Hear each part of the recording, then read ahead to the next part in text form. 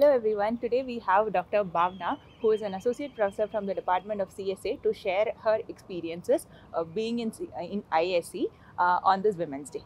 Uh, welcome, ma'am. So, Thank can you. Uh, introduce yourself, like a bit Um, yourself? Yeah, my name is uh, Bhavana Kanukurthi. I've been at IISc since May 2014. Prior to that, I was in the US. I was first uh, a PhD student at Boston University, and then I spent a few years doing my postdoc at uh, University of California, Los Angeles. Okay. So, being in India, uh, I mean, you, I don't know if you have experience, there are a lot of restrictions that are posed on women, right? Uh, so, what does actually freedom mean to you in your case? Um, that's an interesting question. Um, so, so first of all, I'm not completely sure um, if, as a woman, I feel particularly curtailed in India. Um, in fact, I think it's one of the nicest places where, uh, uh, you know, to be a woman, to be honest. Um, but, uh, you know, gender stereotypes exist everywhere, right?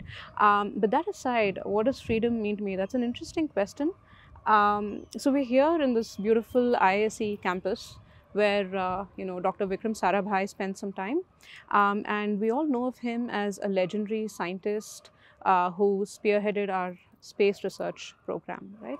But if I look at his life, there is so much more to him uh, than just being a scientist. He cared very deeply about developmental issues. He was very particular uh, or very passionate, I should say, about bringing in technological innovations to the textile sector. Um, he was instrumental uh, in setting up Indian Institute of uh, Management in Ahmedabad. And this is just a small sample of all of the things that he's done um, for uh, the Indian society.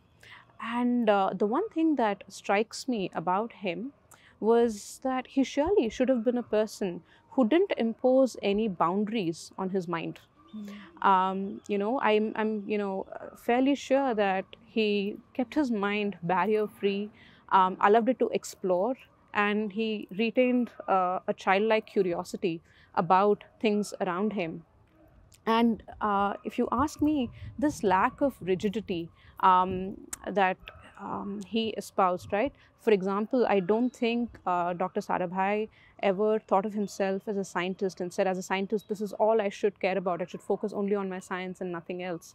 Um, and i don't think he was the kind of person who did that at least from all his accomplishments. And this lack of rigidity this childlike curiosity uh, to me is an example of a free mind.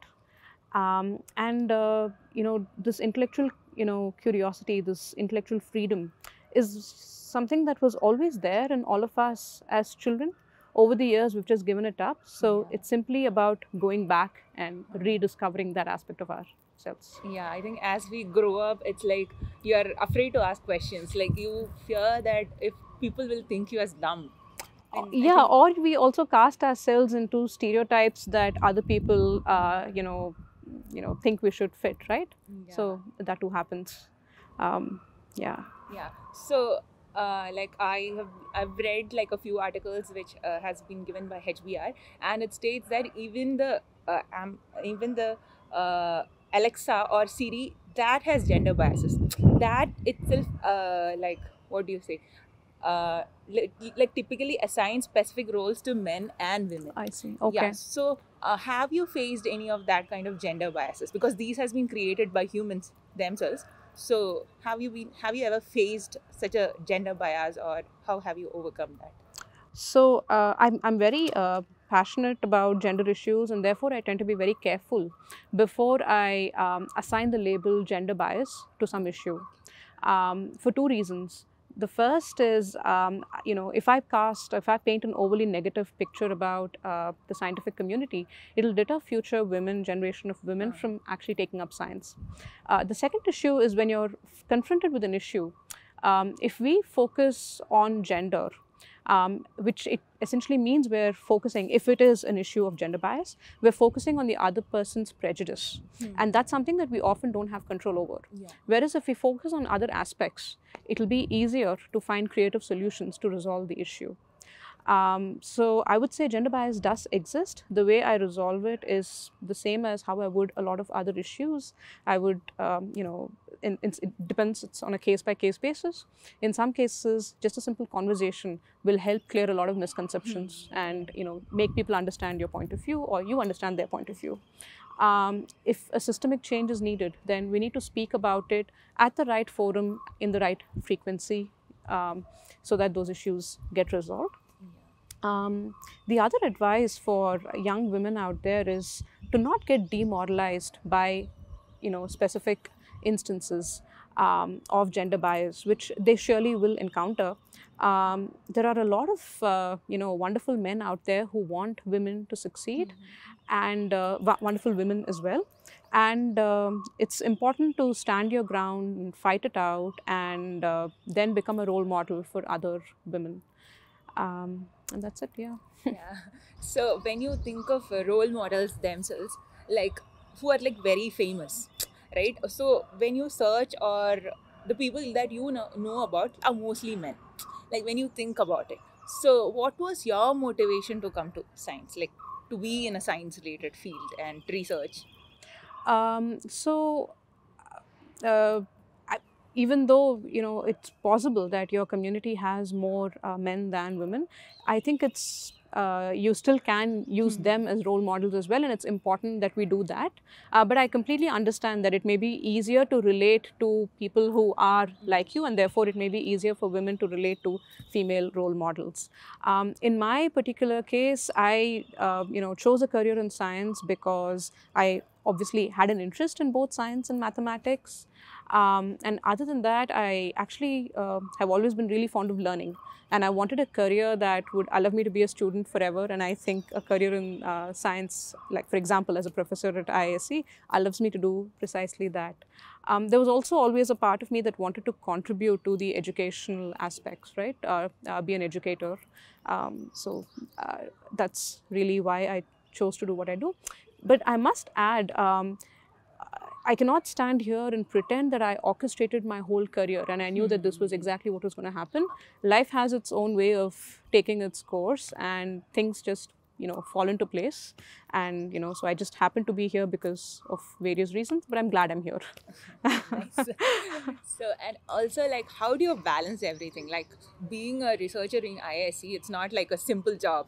Like you are under a lot of stress you have a lot of things to do and then there's come there come family also. So how do you balance between this this work and life? Um, a very good question. So, I think you know, regardless of whether you're a man or a woman, it becomes uh, much easier if you find a partner in life who views the process of building a life together as a collaboration and not a competition. Right. So that's extremely critical. The family support is extremely critical. Um, other than that, uh, you know, uh, especially for women, I would say it is really useful to find a good uh, female role model that uh, you know you can talk to. Um, there are you know certain situations when it may get overwhelming. You know, for example, this pandemic has been really hard for a lot of people, um, and I know that there was some you know it so it may actually get overwhelming to handle you know uh, your home you know uh, however uh, much of a support you have. And it's difficult for everybody, right? For men and women alike. Um, and I think in those cases, if you have someone senior who's telling you, you know what, this too shall pass, you're strong, you'll handle it, I think that just gives a lot of confidence. Um, in my case, I'm surrounded by a lot of people, men and women, who've been, you know, who support me, support my aspirations, and I think that really helps. very nice to hear that perspective also so do you have like a specific advice to women who wants to want to choose this as a career as to be a scientist or something like that Um, it would go back to the point that you first made about being too shy to ask questions. And I think that is one thing that we should really get rid of. If we're not shy and timid, um, you know, uh, that'll really help. Um, yeah. okay thank you so much ma'am for spending Thank you. time with us i think this would inspire people like to be a part of this science field or to come to IISc also thank, Thank you so much. Yeah, thanks.